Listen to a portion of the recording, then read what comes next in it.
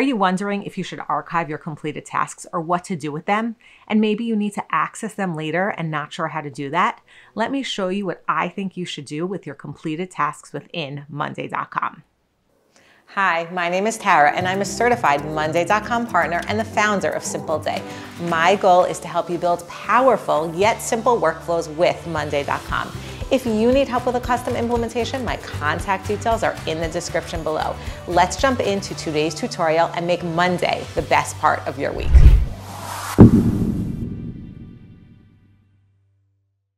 As you can see on this board, I have open tasks and I have completed tasks. Now, the question I get is what do you do with completed tasks? You don't necessarily want them on this board because it clogs up the board. And when you have hundreds and hundreds of tasks, it could potentially slow your board and you just don't need them there, but you want to be able to access them later. So I'm going to show you two different things that I think you should do. Before I start, I just want to take a minute to talk about the archive.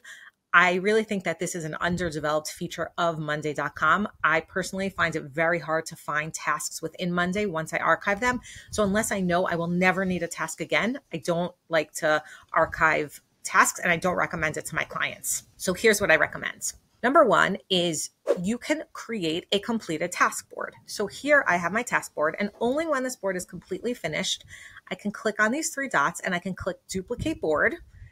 And instead of calling it duplicated, I'll call it completed task board. And I don't need to obviously copy all the tasks and I'm gonna duplicate it. So what's gonna happen is I'm gonna have another board that's the exact same structure as the first board.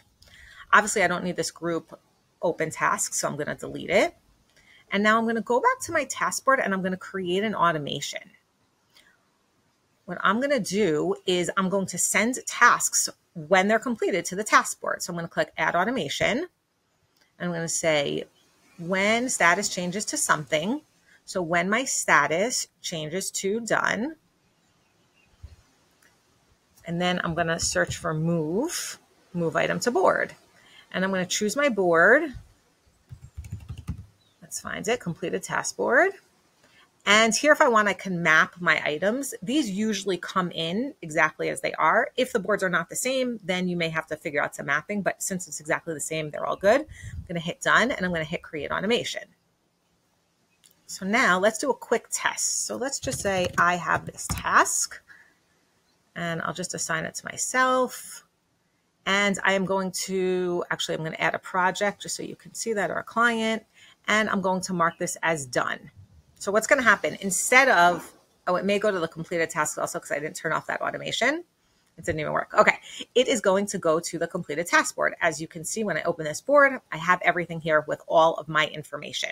So number one is to create a completed board and just create the automation to move your completed tasks to that board. Option number two is to think about certain time periods that your company functions in and then maybe create boards around that. Like what I do is I have a task board for every year. So this board I would actually change to be called 2024 tasks. And then at the end of the year, I would just duplicate that task board. So I don't really care that I'll have a lot of tasks that are completed because I don't necessarily view them, especially if I use a view where I block those tasks, you know, that I, I can't see them.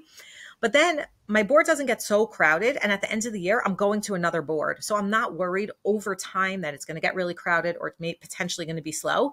And if I ever need to go back and look for another tasks, another task, I can just look in that board. So like this board, I would just change instead of completed. Um, I would just change this to say 2020 you know, let's say 2024, this one would be 2025 and so on. But you're constantly every year creating new task boards. You're just duplicating what you have. Again, I don't recommend archiving. Either create, uh, do a completed task board and just make sure that your board is completed. So that way it's an exact copy because you want all the columns to match. Or number two, at the end of a certain time period, I would move to another board, just duplicate your current board, and then you have an archive, like an archive of all of your completed tasks. Hope this helps. Hit the like button if you enjoyed this video and remember to subscribe to receive tips and tricks on how to use monday.com. Thanks so much for watching and I'll see you soon.